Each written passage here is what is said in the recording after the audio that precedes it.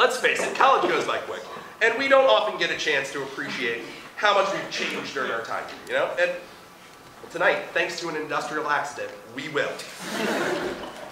Recently, a freshman named Kim Gleason accidentally stepped in front of an ion beam at the Princeton Plasma Physics Lab, splitting into the freshman, sophomore, junior, and senior versions of herself. Let's welcome out all four versions of Kim. Come on out, Kim.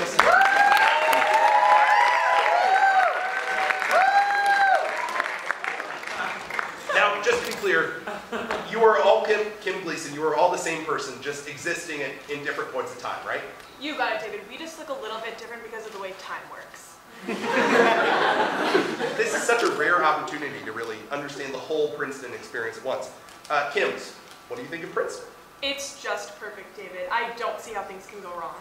I'm starting to understand how things things have gone wrong. Everything is shit.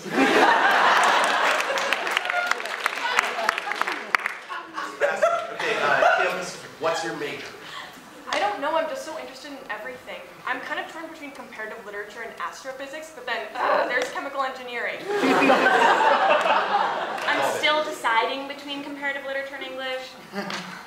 Econ. If your major is what you spend the most time on academically, then my major is copy and pasting block quotes into my thesis. Awesome, awesome. All right, Kim's, uh, what do you guys think of uh, eating clubs?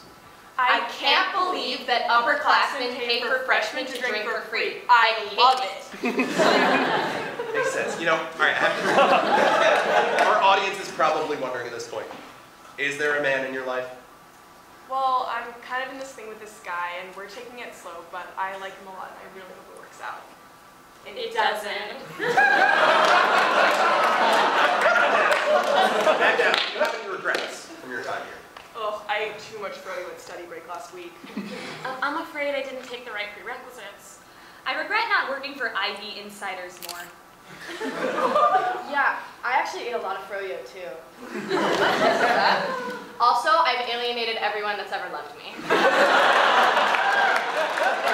I, I was just thinking about that froyo thing. You said it. I'm sorry, it seems like my life goes steadily downhill after freshman year. No, it definitely does not. Well, You're 100% correct. Then why should I keep going? Well, because you don't understand what you have right now. You know, in retrospect, your life is going to seem so good. You have a full year of late meal ahead of you. You can't give that up. Plus, if you stop now, you'd be missing out on the opportunity to create an original piece of research on a topic that you're really passionate about. You know, a true contribution to the scholarly discussion. I'm sorry. I was just trying to see if I could say that with a straight face. but I can't. I hate this. Okay, last question. What do you plan to do after you graduate? Well, I don't know specifically, but I know whatever it is, I just want to change the world. You know, maybe I can't change the world, um, but I can still raise awareness about.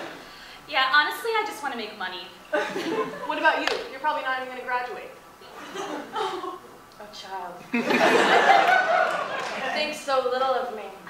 But that's because you don't understand. I'm gonna do something that no one has ever done before.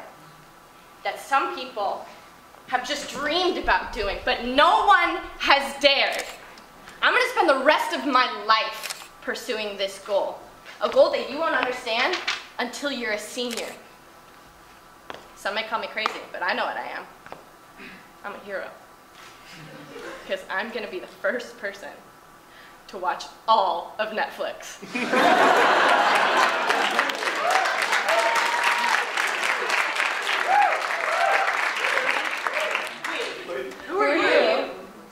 I'm the alum version of you.